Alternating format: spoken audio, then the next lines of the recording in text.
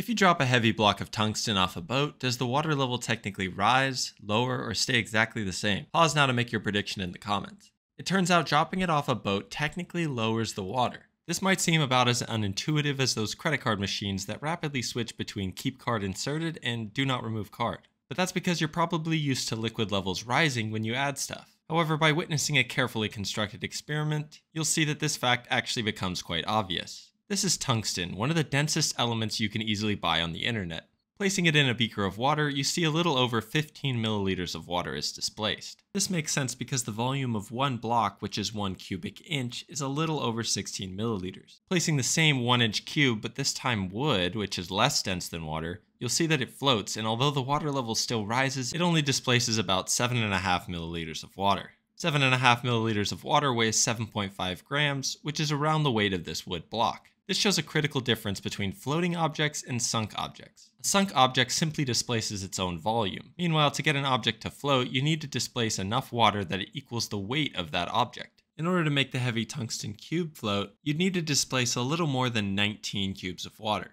For simplicity though, I'm just going to pretend it's 18 times more dense because it'll make this upcoming visualization easier.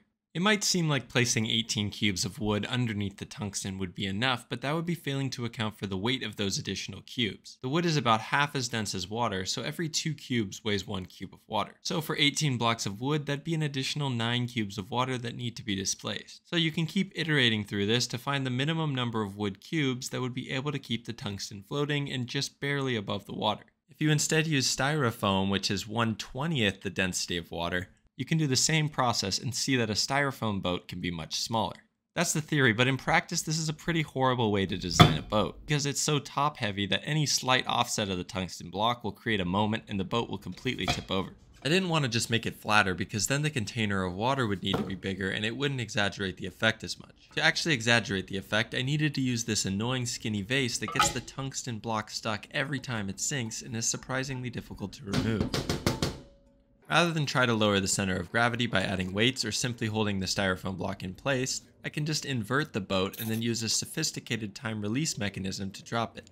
With this in place, hopefully it becomes obvious that the weight of the tungsten cube is currently causing a little over 19 cubes of water to be displaced, but when it's dropped in 3, 2, 1, now it's only displacing 1 cube of water. That roughly 18 cubes of water difference can be easily seen in the before and after shot, where the water level clearly lowers. Thanks for watching to the end, and I'll see you next time.